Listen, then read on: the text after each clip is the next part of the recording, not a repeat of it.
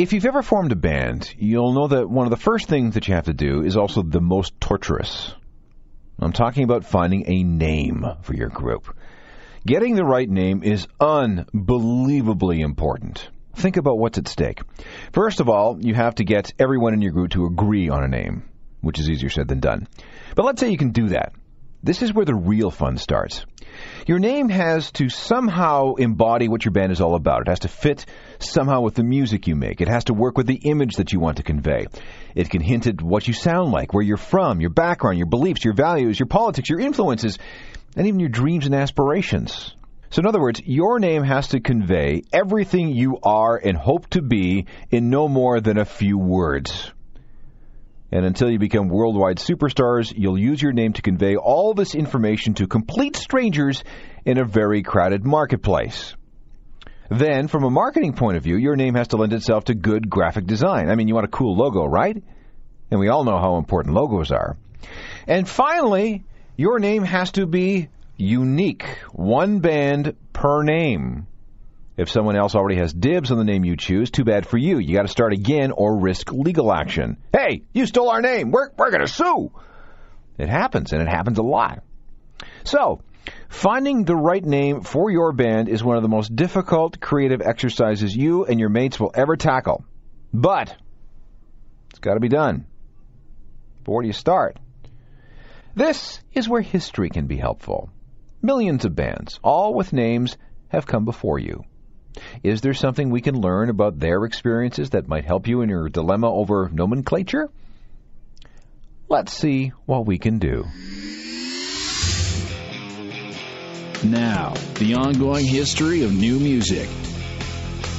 When I was 16, I started this band. I played fast guitar. I tapped with both my hands. We called ourselves the Cools. It wasn't a good name, but neither was our band. And I wrote songs for Jen. Jen was my girlfriend. She said my songs were fun. I asked her a question. Will you come to our first show?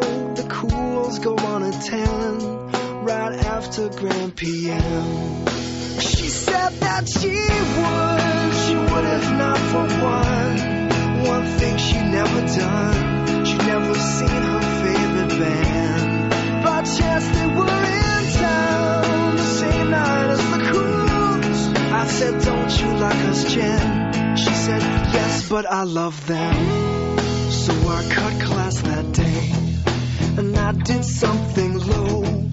I took Jen's locker key up to the second floor. I tore her tickets up and lied, and I hugged her when she cried. And she came to our show.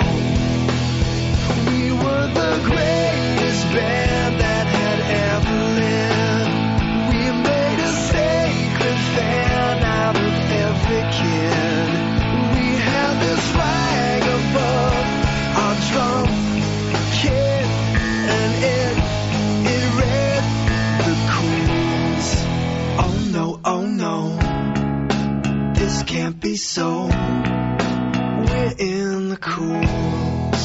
Friday at the show. Mugshot played the Bruce. Grand PM was good, but the singer didn't move. And then this lady said into the microphone, Please welcome the cools. Said Jen, what did you think? She said that it was good, except one thing I hadn't done. I didn't dedicate. Come on, Jen, it was the best show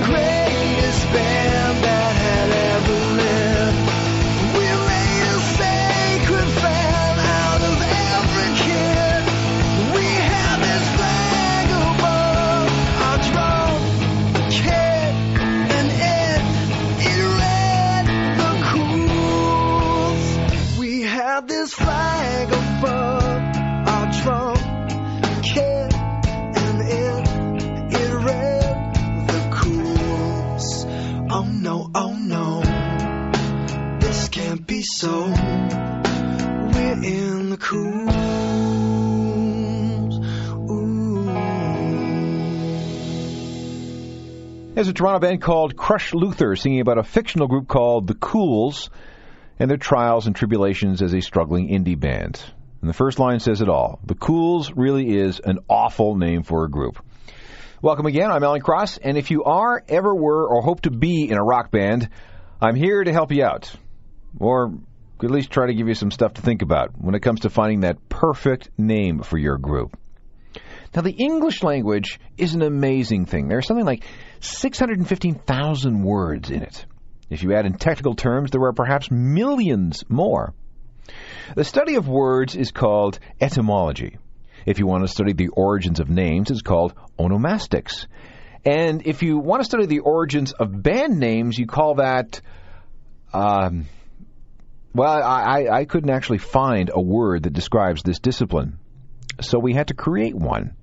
And since this program strives for 100% accuracy, I had to call in some experts, real onomasticians, people who study the origins of words for a living. I consulted Dr. Sheila Embleton, a professor of linguistics at York University in Toronto. She's involved with something called the American Name Society, which counts many different academics amongst its membership, including Professor Richard Coates of the University of the West of England, Mark Hershon of a branding agency in Sausalito, California, and Priscilla Orr, the first vice president of the aforementioned American Name Society.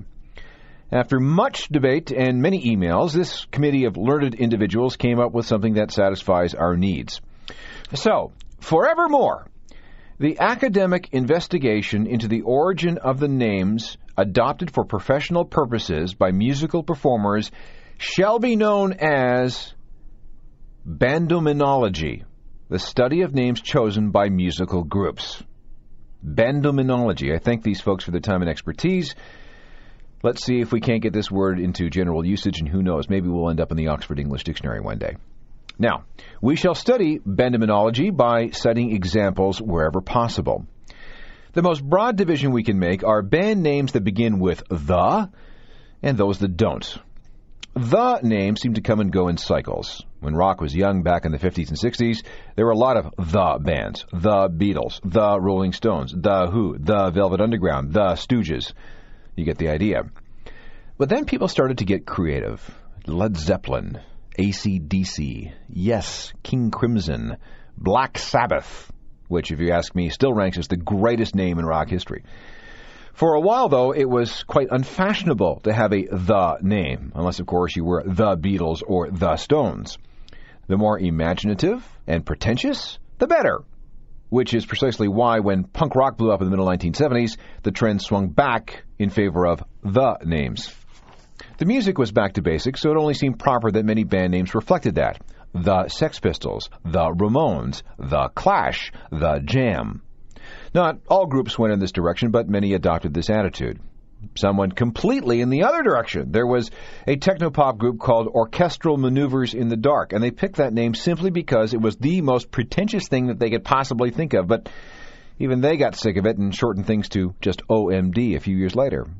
This trend towards the names continued through the new wave era in the late 70s and early 80s. The Cars, the B 52s, the Specials, the Police. After the middle 1980s, though, it became a free for all. You could name your band whatever you wanted Pearl Jam, The Stone Roses, Alice in Chains, The Happy Mondays, Nirvana, The Pixies, Radiohead, The Smiths. But then, when we had the indie rock revival in the early 21st century, the names briefly came back into vogue. The Strokes, The White Stripes, The Hives, The Vines, The Killers, The Salads. Bottom line, though, is that it seems that there are no rules when it comes to choosing a tribe. It is just as cool today to be a the band as not. This gives us an excuse to play the ultimate the band. Matt Johnson used to play in a group called the Marble Index. No, no, no, not the band from Hamilton by that name. Mm, this was the original Marble Index. This Marble Index was British, and it dates back to the late 1970s. Now, Matt is a very um, existentialist guy. He's a deep thinker who appreciates irony and understatement. And this is why he named his band The, The, The, The. And here is The, The from 1989 and an album called Mind Bomb.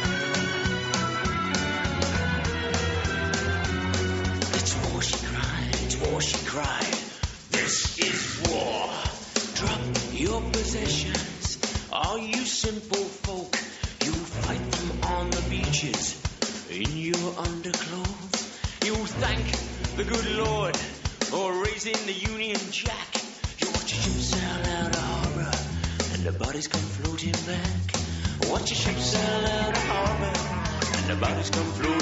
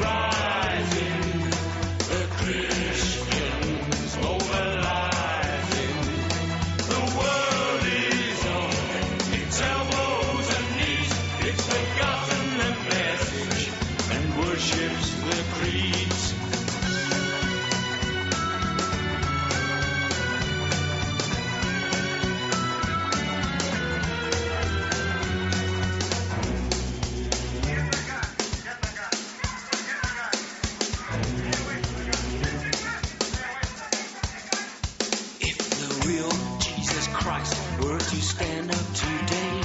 It begun.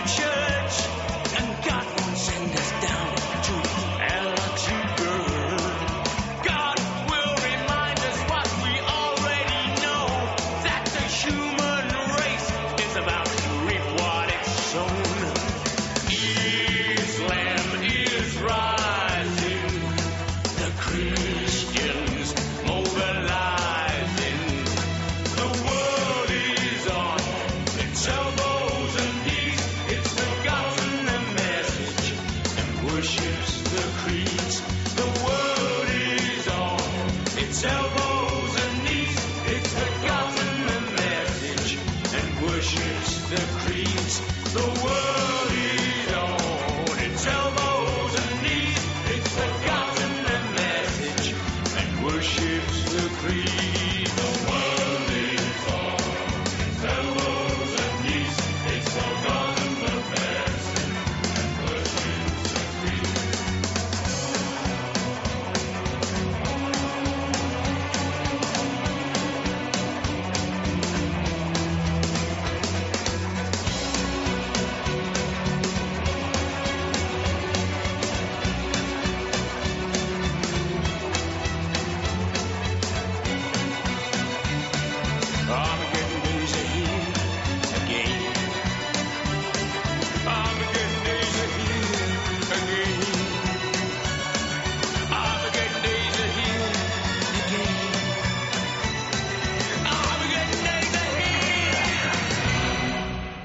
Matt Johnson and his band The The from 1989. The song is Armageddon Days Are Here Again. Pretty prescient lyrics, don't you think? And if you want to test your search engine skills, see if you can't figure out how to look up The The on Google. I mean, try. It, it can be done, but you know you got to know what you're doing. If you don't want to be in a band with a the name, you're only limited by your imagination. But where do you start? Well, you can look on a map. There are bands with names like Japan, who are British, of Montreal, who aren't, Boards of Canada, who are from Scotland, and Texas, also from Scotland. One of the original dudes at CBGB's in New York back in the 1970s went by the name Handsome Smilin' Dick Manitoba. He had never been to Manitoba, but that was his name. He now runs a bar a few blocks away.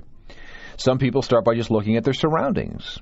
Oasis had nothing to do with a desert and everything to do with a venue in Manchester and maybe even a string of local women's clothing stores. The Sisters of Mercy, a great, dark, evil, goth sounding name, caught that name from a local convent. And then there's the case of Soundgarden. That's a really cool name, but where did they get it? Well, they stole it. On the shores of Lake Washington, about 20 minutes from downtown Seattle, is a grassy bit outside the National Oceanic and Atmospheric Administration. And in this park is a sculpture that stands about 20 feet tall. What makes this metal sculpture so unique is that when the wind blows along the shores of Lake Washington, the sculpture makes music. The name of this work of art is the Sound Garden. Two words. The name of this subsequent work of art is Sound Garden. One word.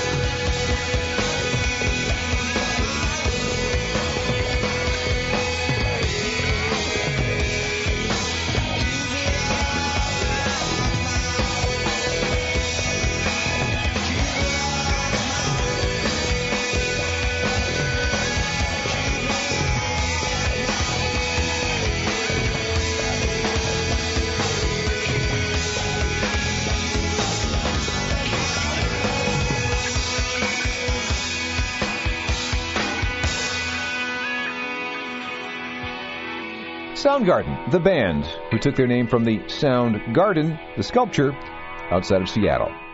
In a moment, we'll continue with this study of band names, bendemonology, and where you can find the next great name when we try to take cues from pop culture. Hold tight. This is the ongoing history of new music.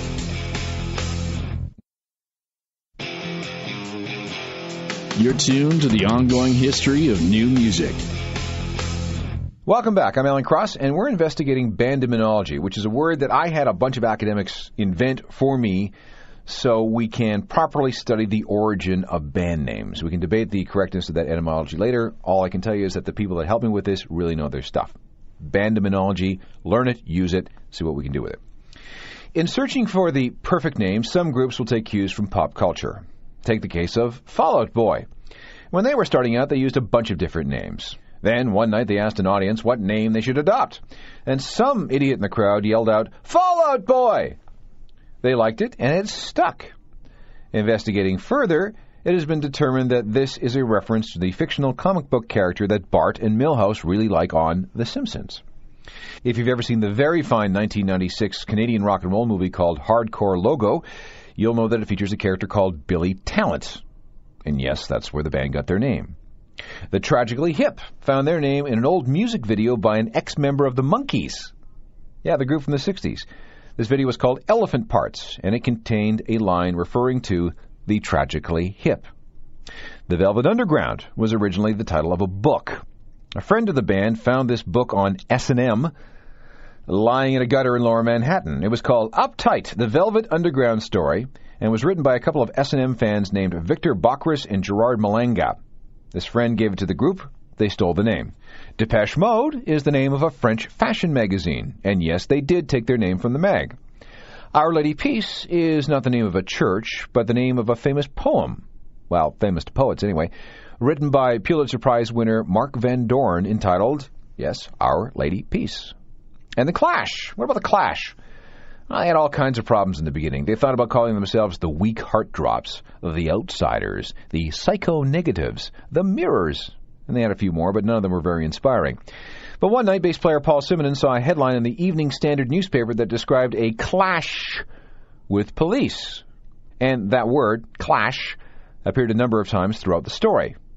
Paul thought it was kind of cool, so he suggested it to the rest of the guys, and based on their politics and attitude and everything else, they thought it was perfect. And it stuck.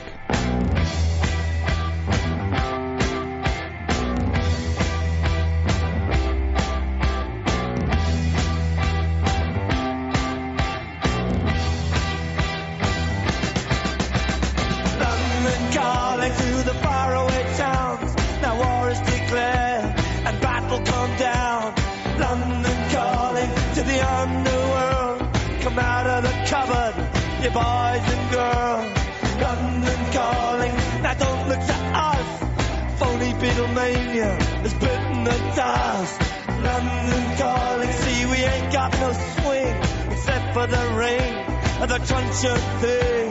The ice is coming, the sun's zooming in. Meltdown expected, the wheat is going thin. Engines stop running, but I have no fear, cause London is drowning. I live by the river to the imitation zone. Forget it, brother, you can go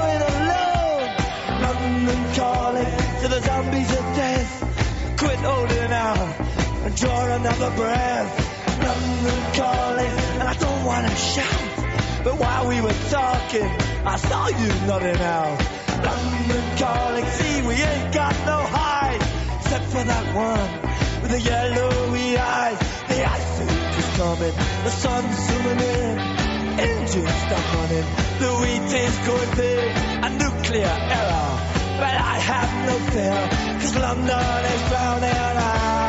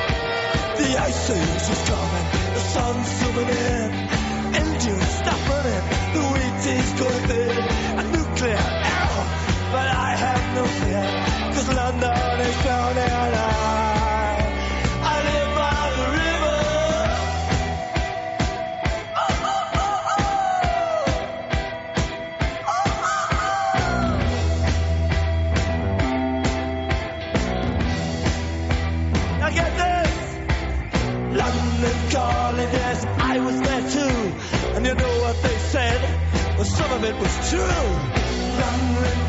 At the top of the dial. And after all this, won't you give me a smile?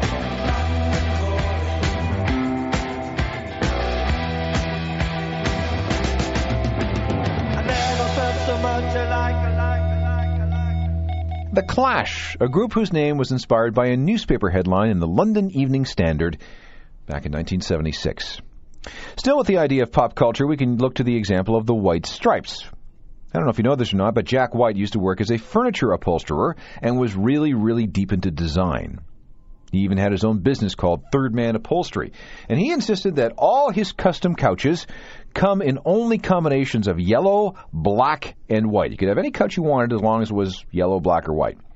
This seemed to be the root of his fascination with specific colors. When he and Meg started jamming together, they thought about using the name the Peppermints because Meg really likes, you know, the red and white peppermints. They also thought about Soda Powder and Bazooka. Those are candies that Meg likes too. And then they started to dress like those red and white peppermints. But then, after all this, they came up with the White Stripes after two things. Number one, their last name, Jack White, Meg White, and the white stripes on Meg's red and white peppermints. But there's more. Jack was also into an early 20th century design movement from the Netherlands called De Stijl. Distill is Dutch for for style. This design philosophy decreed that things should be reduced to simple geometric shapes and primary colors. Now that folded in nicely with the peppermint idea, and it also harkened back to Jack's sofa designing days. So, it came to pass that Jack and Meg White, fans of red and white striped candies, and a minimalist design philosophy from Europe, became known as the White Stripes.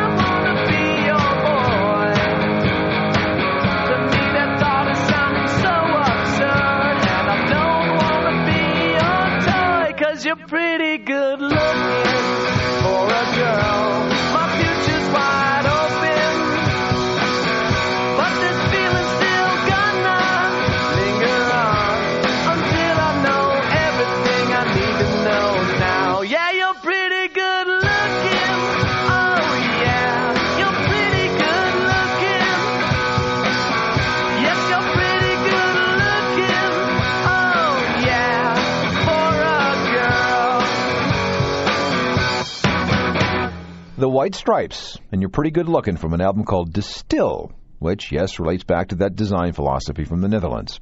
And lest you think that the White Stripes are the only people to seek inspiration from design trends, we can also look at Bauhaus. The goth band, they copped their name from a German design school of thought at the end of World War One. Now, if that's too highbrow for you, look at some of your favorite bands. Brandon Flowers is a big fan of New Order. When he wanted a name for his new group, he took it from the name of a fake band seen in a video for a New Order song called Crystal. And the name of the band was The Killers. And if you've ever wondered where the Happy Mondays came from, well, it's because of New Order's biggest song, Blue Monday. Call it an ecstasy fueled rebuttal to the start of the work week.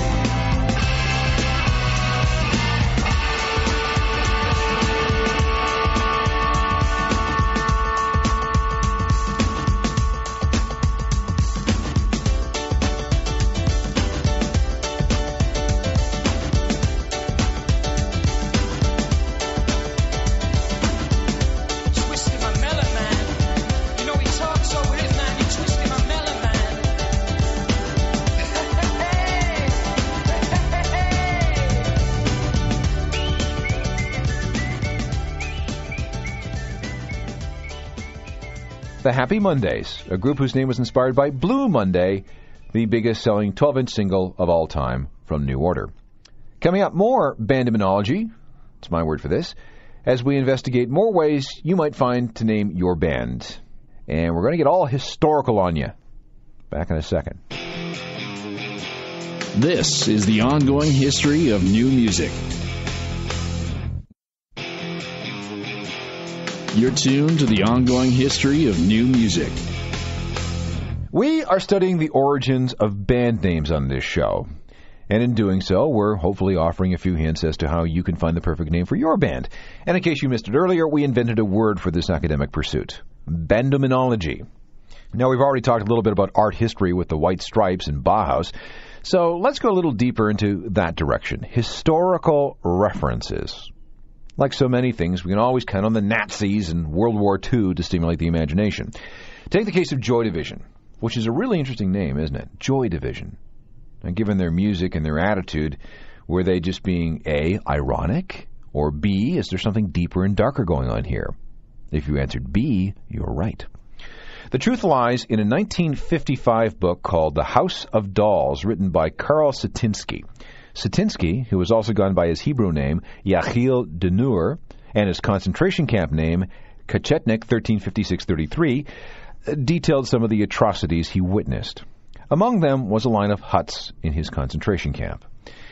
In those huts were women who were being kept as sex slaves for Nazi soldiers, and one of the women in those huts may or may not have been his sister. The name he gave to that line of huts was the Joy Division. Very military. By the way, Satinsky's sister did not make it out alive. Anyway, late 1977, Ian Curtis, singer for a group called Warsaw, decided on a name change for his band. Remembering Satinsky's book, he suggested the name Joy Division, and it's Division, a group whose name comes from a reference to a very specific place in a Nazi concentration camp back in World War II. Let's connect the dots with one more World War II reference.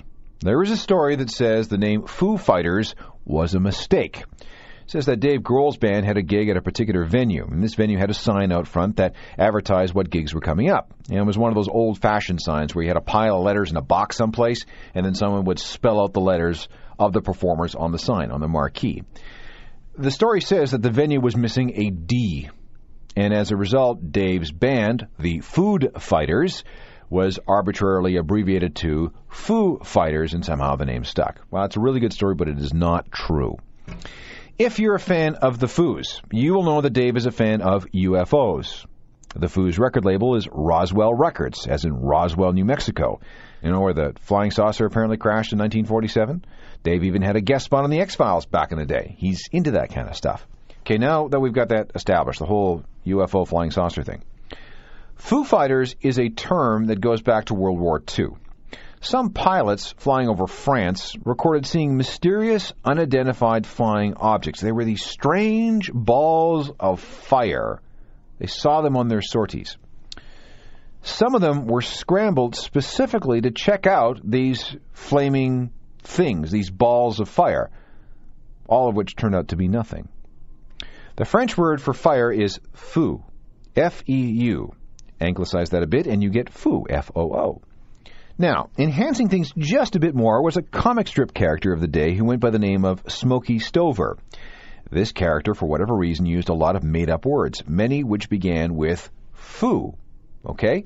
So you add this all together, and you end up with Foo Fighters. That's the name these pilots got. Foo for fire, Foo thanks to Smokey Stover, and fighters for the fact that they were all, well, soldiers. So that's where you get Foo Fighters. It's a bit complicated, but it's way better than the missing letter myth, don't you think? Visiting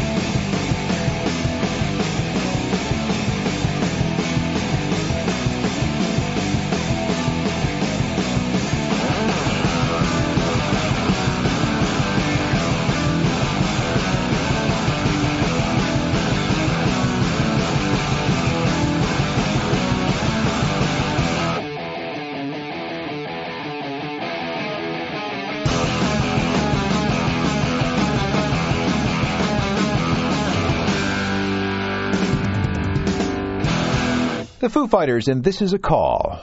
Back with a look ahead to another show on Bandiminology in just a second. This is the ongoing history of new music.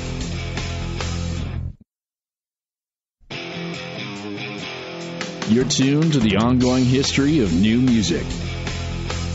Okay, we're on something of a roll here with a new academic discipline called Bandiminology, which is the study of the origins of band names. So we might as well continue with another program. We'll delve into a little more history. We'll sort out some genuinely nonsensical names. We'll find out the truth behind a few others. And what happens when you find out that another band is using your name? How can you prevent that from happening? And if it does happen to you, what do you do? All that and more next time on part two of Naming Your Band. And again, the word is bandiminology. Remember that. Meanwhile, if you ever have a question or comment, or if you'd like to listen to past shows again with our new on demand streaming feature, or if you'd just like to read transcripts of past shows, or maybe read a blog, we got them all in one place for you www.ongoinghistory.com. Give it a look the next time you're online. Let me know what you think. And yes, you can send email through that. www.ongoinghistory.com. See you next time. Technical productions by Rob Johnston. I'm Alan Cross. You've been listening to The Ongoing History of New Music, a Deep Sky production.